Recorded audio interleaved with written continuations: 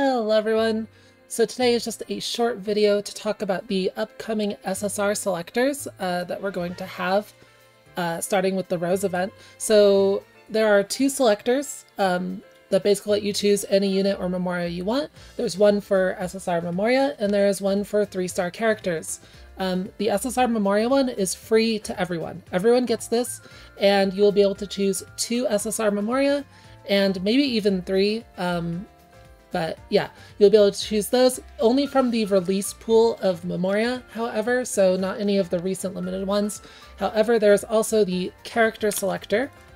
So the character selector, it's 72 hours limited, and after the update tonight, the Roseval update, um, you will have 72 hours to decide whether or not you want to buy this or not um, from the first time you enter the gacha screen, the wish screen.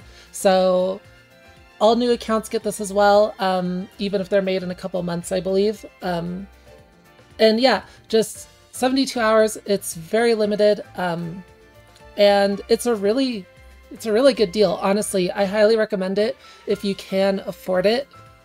It's 6,500 paid gems total. So, you know, you do step one, you get 10, you get a 10 pull for 3,000 paid gems, and then the next one is free and you get a selector for a three star character. And then you get two more temples for 2,000 and 1,500 paid gems. And then the last one is another uh, selector. So you can get two three star characters, um, but it only lasts for 72 hours. You also get 25 legend medals for the entire thing, which is pretty cool. Um, what it's going to look like is this. So this is a screen from the JP version. It's a little bad quality, but that's fine. So yeah, we have step one, 3000 gems, then you choose a character. The next two steps, you choose a character. Uh, currently, uh, if you haven't bought the paid two times packs for gems, 6,000 paid gems is 40 USD. So you're going to be running about $45 to buy this, which is a pretty good deal for 30 pulls and two guaranteed characters and I highly recommend it. Now, which characters should you choose? I'm sure you're wondering. Um, and in my opinion, so the cool thing about this is that it should have every character up to the Christmas banner if it works the same way as JP, which means you have a lot of powerful characters to choose from, not just the base release characters. Um, and in my opinion, if you don't have them, the two characters you should pick no matter what are Izana and Lydie. Lydie is the best supporter in the game, Izana is the best attacker in the game, and Lydie and Izana as well have really good synergy together because of Lydie's pa passive that affects both attackers. So if you don't have either of these characters, you should pick either one or both of them. Period. That's my opinion. Like, you should not choose anyone else. Um, and then for, you know, anyone else, um, there's a few options that I think are worth mentioning if you do already have these characters. For one, Ryza, Mas Master Ryza slash Breaker Ryza, very, very strong area breaker, very good character. Um, she does really powerful debuffs, and she's really good at stunning. She's just a very strong character in general. Uh, Christmas Resna as well, very strong attacker, and also has the all-important skill power gift that links to um, Totori. Uh, I think after Izana and Lydie, she would be the highest priority for me personally, because her skill power gift is so good, and also her passive is quite good. You can run her as a pseudo supporter for some things because you can scale her passive with damage buffet. Uh, and she's just a good area burster in general with guaranteed crits on her bursts. So Christmas Resna's very strong. Um, I'd probably put her third, and then Ryza maybe fourth or so. Um, if you want to do Roman tournaments in the future with like uh, Roseval or you're planning on getting Roseval, Ampel is an absurdly strong character. He is the best supporter for physical teams. Um, well, not the best. Flock and whatever kind of like better, but he the amount of damage he gives is unmatched. He just doesn't heal, but giving like a hundred percent increased physical attack to your physical attackers is really really crazy. So. Ampel is a super strong character, especially if you're planning on doing physical teams or any sort of Roman tournament stuff in the future, Ampel is super high priority. Um, and those are basically the five I would recommend. Um, all, all of those characters are very good. As far as um, other options are, if you already have these characters, Patty is the strongest pure defender in the game. She is, of course, stronger than Totori defensively. She just doesn't give the damage buff, and she doesn't have. She does have a good synthesis gift, but it's not like as required as Totori's. Um, Lila is a very, very strong single target breaker. She's used quite a bit, and you do need a good single target breaker, especially if you have like New Year's Mari as well. She's very good. Um, and then big honorable mention to Ellie. Uh, I only, I, I don't recommend Ellie at all for just about anyone, and especially if you don't have New Year's Mari. But when we do get the leader skill buff at the beginning of July, Ellie will be a strong complement to a New Year Mari team. So if you have New Year's Mari, you like using New Year's Mari, Ellie is a consideration. Um, if you don't have her because she is very strong on the New Year's Mari team due to giving Mari a ton of magic attack and Vanguard. Um, but overall, I don't really recommend her. She's just kind of a last resort thing. Um, Flash Valeria, also quite good. She still holds up as a single target burst attacker, um, especially for certain things like Slash Roman Tournament. And there's I, I, use her occasionally on JP. She's never really fallen off for her niche. Um, and I don't really recommend Sophie. I don't think Sophie's that good anymore. Like she's still usable on global, but in a few months, like she's kind of just sort of crapped by a lot of the different tools we have and stuff. And as a defender, she just doesn't have enough damage reduction. She's not strong enough defensively. So I don't really recommend picking Sophie here unless you really like her. Um, she kind of falls off pretty hard in my opinion. So, but yeah, Lydie and Izana for sure. If you don't have either of them, they are so strong. Um, and then really Patty, Ampel, and Ryza are the next three but you can make an argument for Lila being up there, Patty being up there. They're both really, really strong characters.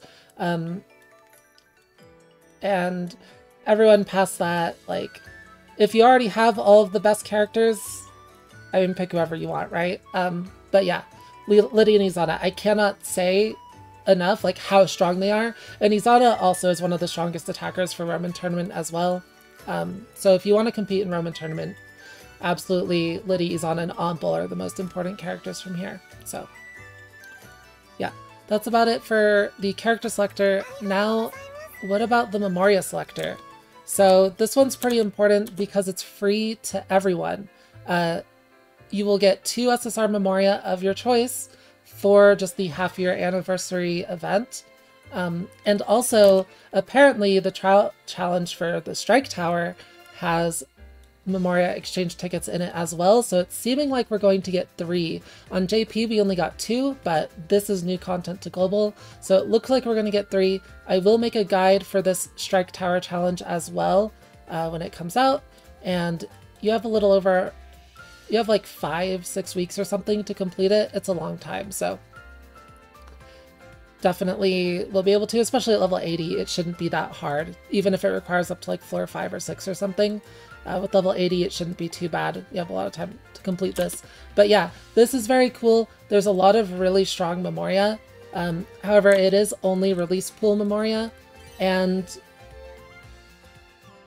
I don't know. A lot of them aren't great, but there's also a lot that are pretty good. Now, as far as the release Memoria goes, it's any of the ones available um, in the Atelier Fest. So I'm just looking right here. It's not this one, but all the rest of these are what you can choose from. And you can only pick one of each. You can't pick multiple of the same one. And the one thing I have to say about this is everyone should pick It's Time to Study. It doesn't matter how many copies you have, you should pick this. You don't have enough copies of this until you have like 10. Like straight up, no matter how many copies you think you have, it's not enough. And if you don't have any, you definitely want it. It's 12, it's 11% speed, first of all, with good defensive stats, and its effect is skill damage when equipped to a supporter.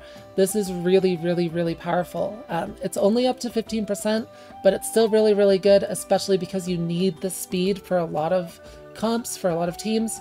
So very, very strong here. You definitely want to try to get this to rank 5 if you can. Really, really powerful Memoria, and everyone should pick one copy of this one. For your second and third Memoria, though, it's it's a lot more competitive. Um, there's a lot of bad ones, like all these ones that give healing, give recovery, they're not very good. Um, Obviously this one that's based on burn, it's not very good. You shouldn't really pick this. Uh, but there's some options. In my opinion, if you don't have a copy of a 6% magic attack Memoria, you should pick this one up. But if you already have it, it's not worth getting because the effect is stun damage. You put this on attackers. You don't really want to uh, you don't really want to get this for its effect. So rank one of this is fine. If you already have it, don't get it. If you don't have it, it's definitely uh, competitive. If you don't have a 6% speed magic attack Memoria, because Memoria are really nice for speed tuning, so it's good to have options. Um, uh, one really good one is this one, A Time Just for Two. It's a magic attack statted Memoria with a good effect where it boosts skill damage by 52% when HP is 70% or higher, so it doesn't care about the element of the character, which is really nice. It works for every single magic attacker, which makes it really nice to have multiple copies of. Uh, so especially if you already have copies of this, this is a really nice one to pick up an extra copy of. The only problem with this is that this effect does not scale with damage buff A like a lot of other damage Memoria effects, uh, so that's one downside to this one. However, outside of Roman Tournament and most comp, like outside of Roman Tournament, most comps aren't going to really care about that, so this will still be good to have multiple copies of for general content. Um, another one that's really good is My Partner. This is really good for Master Ryza because it boosts stun damage for slash characters. It does have a lot of speed, which is sometimes good, sometimes annoying on her, but if you have like multiple copies of this already, it's really, really good for Master Ryza if you have her, so definitely recommend for her. Um, and then in general, just any of the like damage or speed ones that you already have multiple copies of, like of course speed Memoria are always a good consideration. So this Fierce one with the 11% speed, once again, very good. However, we will be getting a bunch of free speed Memoria soon as well. They'll be handing out five like kind of bad speed Memoria, but they have 11% speed. So if you just need 11% speed Memoria, um, this one's a bit worse than Time to Study because it's like lower magic attack, uh, but it is good on like Academy Resna in the future uh, for speed tuning if you have multiple copies of it. So if you're like going all in on the Academy setup, this isn't necessarily a bad Memoria for her uh, for certain situations, but it's not her best Memoria either. And then other than that, really good considerations are just any of the generic general damage Memoria based on what attackers that you like to use a lot or how many copies you have of each. Like this is for fire skill damage and then there's a bunch of physical ones like Striking it rich is for stab skill damage. Shoot for the sky is for slash skill damage, so. But yeah, and then there's also this one for weakness skill damage. Um, this also doesn't scale with damage buffet, but it does have 30% uh, physical attack. It's not bad on like Rosefile, but it's also not her best either. So there's there's a lot of considerations. There's a lot of bad ones too. Uh, but to summarize, it's time to study. Everyone should get this, period. You should absolutely get this. Then A Time Just for Two, really, really good to have multiple copies of. Um, one of my favorite Memoria in the general pool. It's just sad that it doesn't scale with the damage buff trait, but that's not going to be relevant to most people. And then my partner, very good for Slash Ryza. And those are kind of the top three. Um, but other considerations, of course, Furious, and then any just general like damage Memoria. And once again, this one if you don't have copies of it. So it's very much dependent on your own box, um, but I wouldn't really pick any of the defensive ones. Mostly just go for damage here, so damage or speed, basically. And that's about what I recommend for that.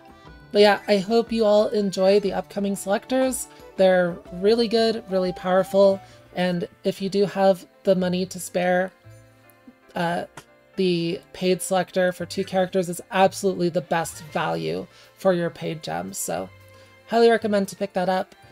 Hope you all get lucky with your upcoming pulls. Hope you all get characters that you've been wanting for a while. I know I will. And thanks for watching. I'll see you all in the next one. Bye-bye.